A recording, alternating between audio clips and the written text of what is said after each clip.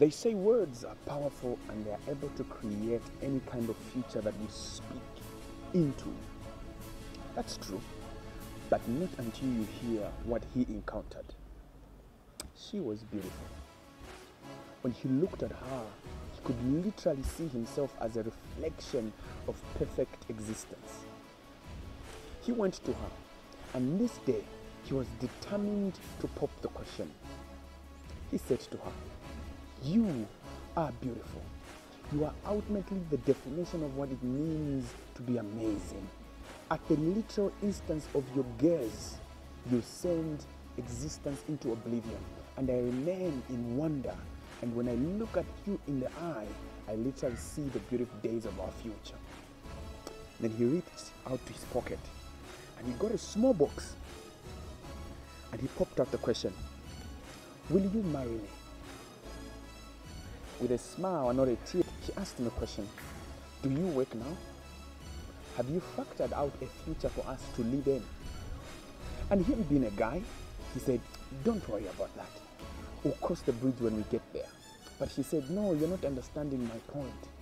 I will not subscribe to a future which is not certain. And passionately, romantically, and as much as she could, she put her hand on his cheek and said, Darling, words are sweet, but they never take the place of food. Now, a lot of us, we have believed that we can say words and sit back and the future will arrive. A lot of us we have believed that whatever word that we can say, whether negative or positive, has a way of becoming regardless of what we ultimately can do about it. Now, there's a thin line between that and the actual acquisition of the future.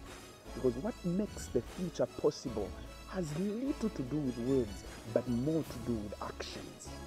Because here it is every heart that desires success should be willing to convince the hands to cooperate to that call. Because nothing happens until we work it out. And in the working out of things, that is where the future is defined and is certain. He loved her. And for sure, he said beautiful words to her. But still, her heart was clear to what really makes up life the work. It's good to say positive words, it's good to be positive in life. But there's nothing that can be as powerful as acted out words.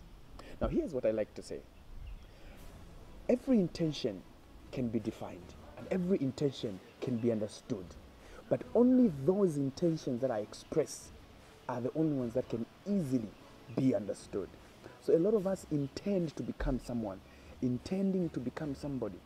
But until we can learn to ultimately act out our intentions, we will never be understood. Sometimes you have to take out risks. Sometimes you have to keep quiet and let your work talk. Because that old adage is still true today that actions speak louder than words. You can never, never really mean anything in silence. In fact, silence has got no justification. So if you want to become anything and or if you want to become anybody, I mean anybody, big, successful and wealth and happy, you'll have to act it out. Yes, even if you want to be happy, you'll have to act it out. So make a resolve today that you are going to act out your intention. I know you have a lot of things bubbling in your mind, bubbling in your heart, but you know what? We don't see them. We will only see those things that you will act out. So convince your heart, convince your mind that for these things that we have in our mind, in our heart to become, we will have to act. So that resolve will ultimately make the future that you see in your head possible. And that resolve can be made today. My grandfather's name is Moonga, and my name is Olly.